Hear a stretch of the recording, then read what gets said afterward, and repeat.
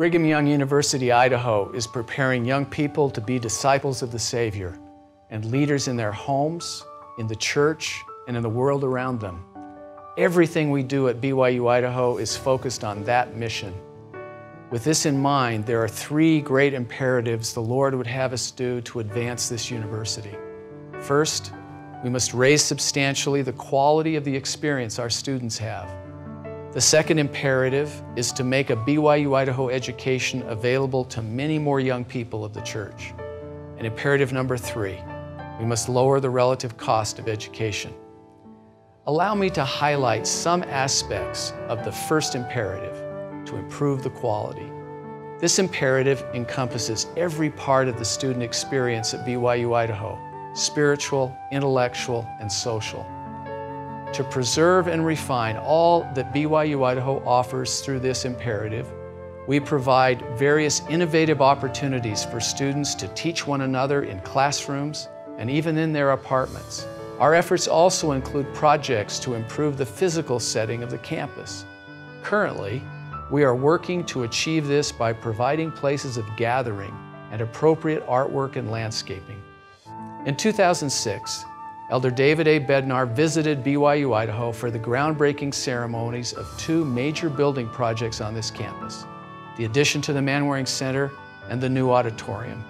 With these two buildings in mind, observe what Elder Bednar taught us about the spiritual purposes for gathering and why they are essential to the success of BYU Idaho's mission. At Brigham Young University, Idaho, you gather to worship the Father in the name of the Son to build up the church and the university, to find defense and protection, and to receive counsel and instruction. You gather together to learn and to prepare for your mortal and eternal opportunities and responsibilities. You gather together to strengthen each other. You gather together to develop appropriate relationships and to create eternal families. You gather together to increase an understanding about the purpose and the measure of your creation.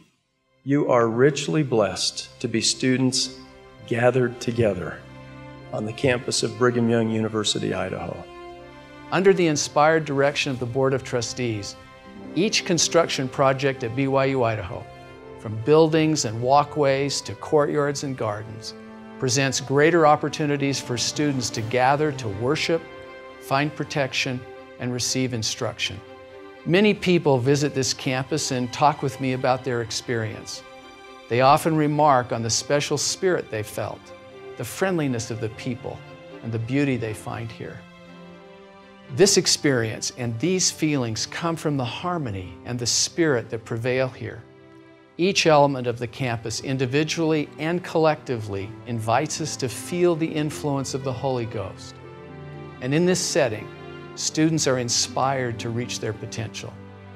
To help invite that special spirit, we bring beauty and holiness to the campus with appropriate artwork inside the buildings and carefully planned landscaping of outdoor spaces.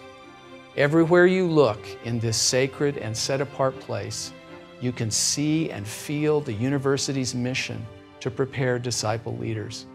I've addressed here just a few ways we're preparing young people to be disciples of the Savior by improving the quality of the BYU Idaho experience. Other areas of concerted effort include further development of the learning model, implementation of the Foundations program, and many aspects of experiential learning, teaching, and leadership among our students and faculty. With all of us working together as one to bless the lives of students, this university continues to move forward on the steady upward course the Lord has set. And with your participation and philanthropic support, we will continue to bless the lives of thousands of students. Thank you for joining us in this remarkable work.